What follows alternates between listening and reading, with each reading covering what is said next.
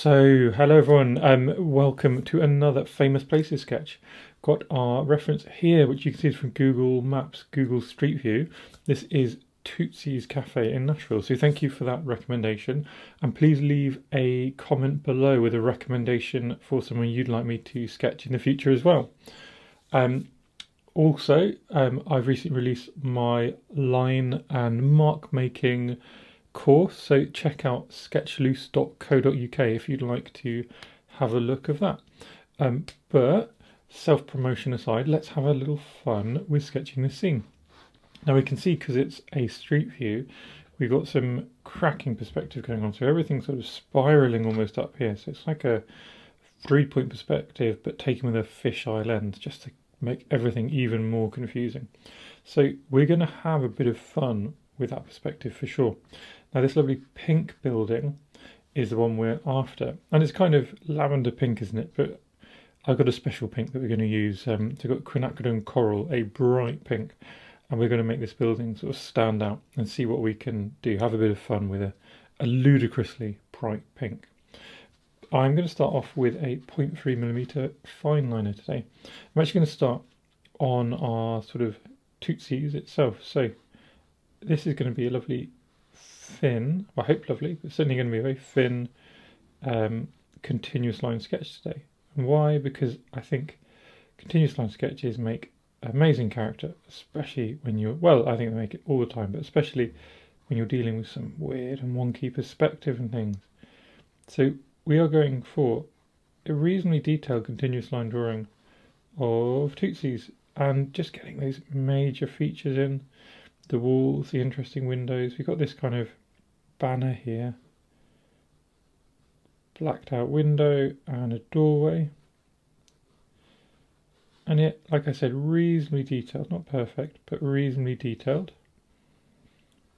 And then from there, we're going to move around and sort of spiral out. We've got this uh, lovely um, awning, which we can already just accentuate the fisheye perspective of. We can bring down these sides and make everything a little bit wonky. We've got these people as well, so let's pop them in. Someone carrying a bag, we can give them a little bag. Little man facing us, we can even get his hands in just with little cute little circles. We've got something in the foreground, haven't we? Ah, it's a, uh, if we look up, it's a sort of street light. So we can get that street light in as well with that kind of weird perspective.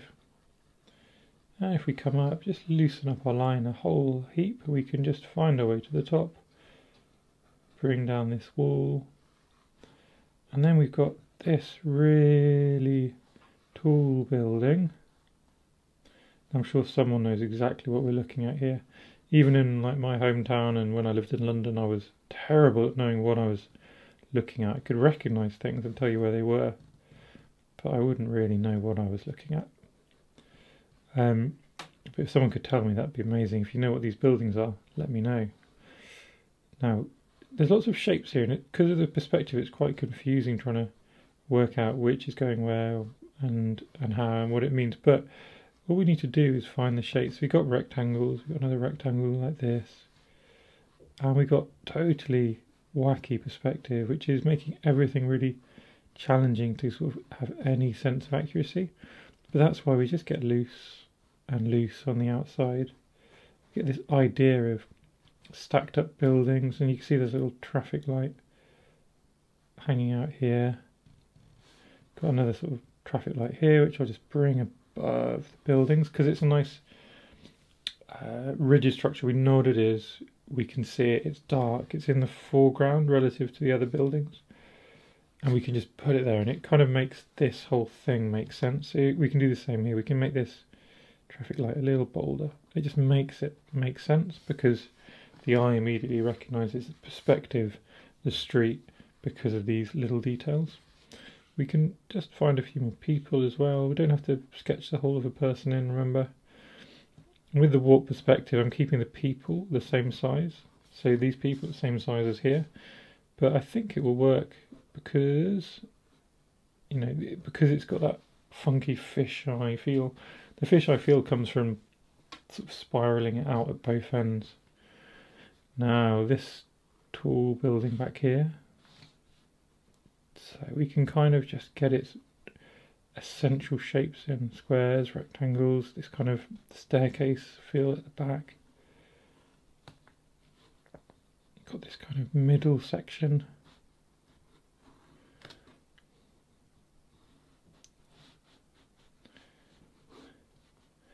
And we got a kind of rectangle I've missed off here, which joins up there. So now we've got this whole street connecting with this feel above us.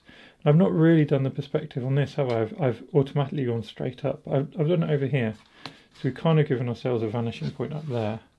We probably should have been angled a bit more, but that's my uh, my head not quite being able to compute the weirdness of the perspective in this view we've got. And it doesn't really matter. It still looks interesting. It's not about producing a perfect replica by any means. Just going to introduce some interesting lines, little connections, little nice feels, and then we can get this pavement in as well, and that can come and accentuates the fisheye because it comes out at us. And just a few textural lines in there. Now what I want to do is have a go at getting a bit of tone in here, a bit of hatching, because we can see some really clear shadows. So there's really clear shadows coming down here. And the same on this side. And by doing this, so we've got this mad, mad perspective going on. But by then applying some clear shadows, it, it um, what's the word? It kind of orientates the, the eye, so you know, well, this must be this side, this must be this side. You, your eye, you don't have to compute it like that, you don't have to think it out loud, but your eye can just see it. So if we just get the the relative tones of different sides of the buildings, we can find them all just carefully, just coming around. This is just some really simple, simple hatching, the same along here. We can just suddenly create this overlapping feeling. And all we're doing is just little bits of hatching. We can even hatch into the bits we've left blank and it just suggests something going on over there. Same in, in these doorways, we can hatch and then block out. We can just hatch this one, block out a little bit, suggests a, a doorway going in somewhere. We can get this hatching going underneath this awning, casting lovely shadow and it also makes these people stand out. We can get a little bit of shape on our funky little lights. And now we've got this sort of wacky, wild uh, sort of uh, feel of everything going on. I'm just applying some little bits of hatching around our people just to ground them. No particular direction of the shadow. You can see the shadows should be going up here, but more just uh, interested in connecting them to the ground with some texture, especially given how abstract we've been in, in how we presented this scene. And that, I think, is enough of my pen. So next, of course, we're going to move on to adding a bit of colour. So as promised for the colour, we're actually going, I'm going to do two interesting colours. We got quinacridone coral, and this is a really, very coral, very bright pink. Um, what you're imagining if you think of, sort of coral lipstick. Also going to use a bit of Potter's Pink. That's a more um, granular, earthy pink. I think the combination of the two in here, with a little bit spreading around as well, will be uh, a nice, not overpowering, but definite punchy combination. So, touch of these in my palette and we are ready to go. And we really won't need much because this is a, only an A5 bit of paper. Um, and so, yeah, uh, we won't, we, you know, given it's only a small element of the paper as well, if you're not working out of pans, you really, really, for line and wash, do not need a huge amount of colour. You can save a huge amount of money doing it this way as well, of course. So we're going to start in this building and we're going to create a nice pool of water which can drip off the edge. I just want it to overlap a little bit as well. I'm going to start with our quinacridone coral, so a really bright and luscious pink as you can I'm sure already see and we'll see how that fades and faint, fades and becomes faint as we move around the rest of the image and then we can come back So for these uh, these sky sky rises, uh, these tall buildings, I'm going to use a bit of phthalo blue and just sort of scrub it in to get a little bit of texture. There's a little bit of indigo in the bottom of this palette as well, which provides a bit of extra tone. And then we can drop that into the shadows as well. So instantly we've got a bit of uh, connection through the whole of our sketch already. A little bit of Moonglow just to drop into a few places. And I'm going to connect our little runaway streams because now they're going to join up to each other. Now in the background there's not a huge amount going on is there so instead of trying to pretend there is I'm going to bring the sky above it try and join our sky into our tower a little bit I think the sky we'll see what the sky does actually we'll, so we got options we could bring the sky around the whole area we could have it just pooling and bringing sort of flow again feeling that kind of funny perspective. Maybe to do that we just drop a bit of blue in here. So now we've we've accentuated the fisheye. And now what we've got, we've got um, two quite strong primary colours going on, haven't we? So we've got this hot pink versus this this cool blue.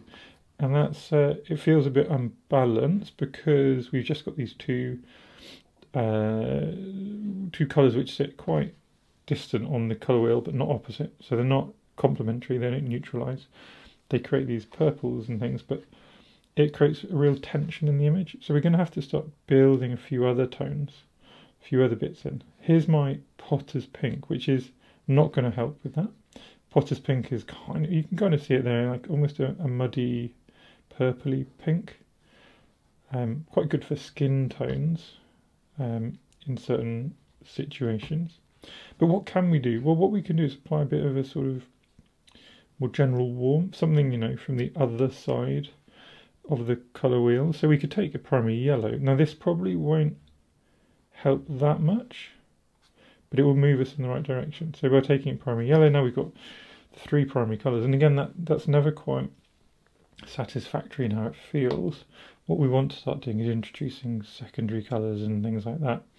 Um, and there aren't that many of those in here, but what we can do is start introducing them anyway. So let's find a little bit of green, for example. We can just use a bit of green down this street. And I don't know if it's just me because I, I, want it to be true, but do you feel that green instantly balances this whole image? And it's because we're no longer approaching three points of the colour wheel.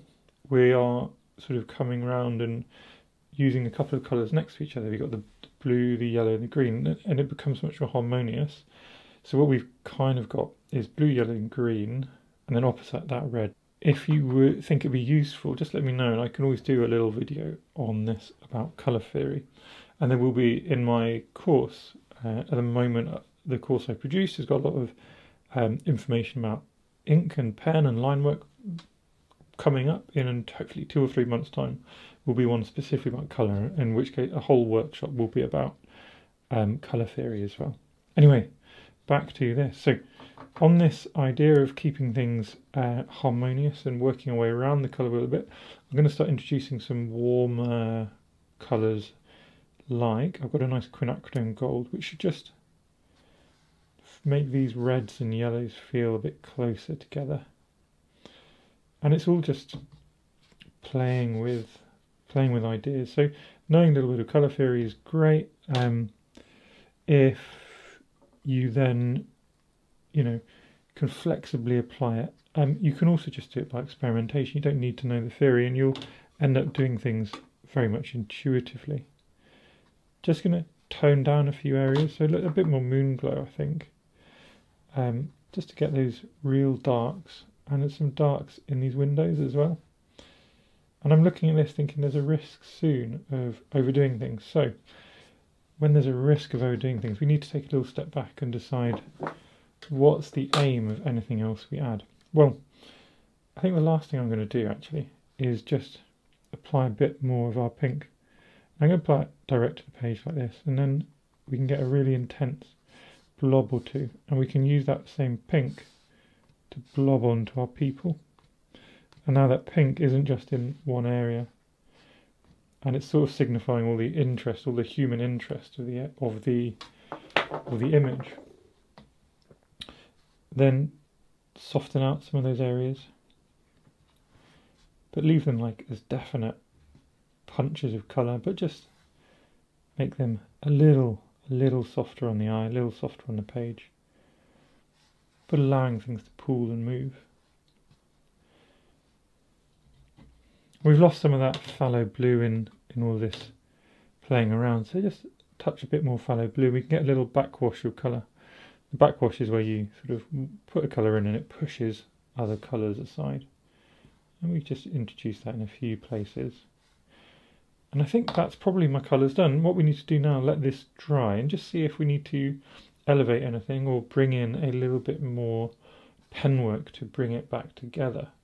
And before I do that, I'm just going to add my signature because even even now I'd be happy to call this a finished little sort of bright, interesting, colourful uh, sketch. So we are back and we are dry. And now I will forgive you if you were looking at this before and thinking, "Oh my God, what's he doing? That is way too bright, way too bold." But it just just goes to show. Look how much this has faded and mellowed. Um, and that's with the thing with watercolors. You just got to have a little bit of faith. You've got to know your colours and understand that, with, especially if you're adding them with lots of water, things are gonna just it's gonna chill out, and you can afford to be a little bit wild because things are gonna become okay in the end. With that said, there's also some bright bold colours going on, which are sort of just covering up some of the shapes we want. So I'm going to come back with my same fine liner and we're just going to find some of those shapes again. Being careful not to be too bold I think this line's on the edge of being too bold, but I'll just detract, uh, not detract from it, uh, distract from it by making some of the contrasted areas a bit darker. And then it kind of pushes away from from that being too noticeable. We could also even lift up this building. And now we've detracted or distracted again, sorry, a little bit more from it. We could fill in the bottom of this building as well we left that unfinished, we can just sort of find the bottom and find a bit of texture in those shapes. These windows we can just gently refine and re-emphasize, especially the sort of shadowed edges of them.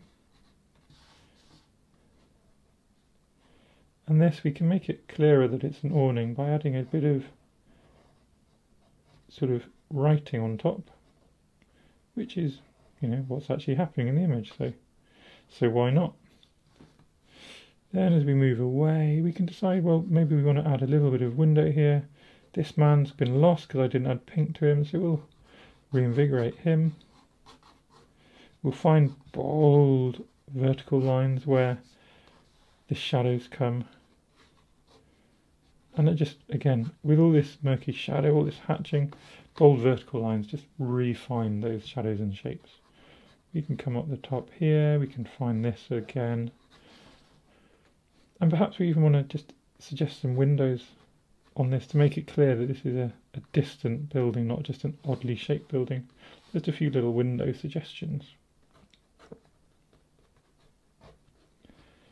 And almost there, really. You don't want to do too much at this stage, and this is all about this sort of mad colour and this deep pink that we've added.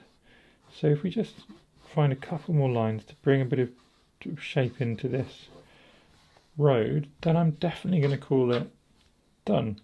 Because otherwise we're going to we're definitely to do too much. This is already a mad, colourful sketch. We knew it was going to be from the moment I mentioned quinacridone coral. Um, so let's just pop a little title on. I've already signed it.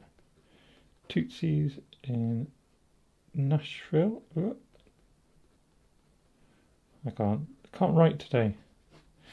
Um, and that is my sketch done. So, look, thank you for this suggestion. Really interesting challenge, especially such a, a quirky building in such an interesting environment, um, and with that interesting colour, which we've not copied but taken inspiration from. Let me know what you think. Is this uh, too mad and uh, completely agree with people if they think it is, but it, also is it just a lot of fun? And have we just played a lot? Again, uh, you know, I'll agree with you if you think it's just a lot of fun. So let me know what you think. Um, and as I said at the beginning, do let me know if there are other places you'd like me to sketch in the future. Here's a bit which needs to.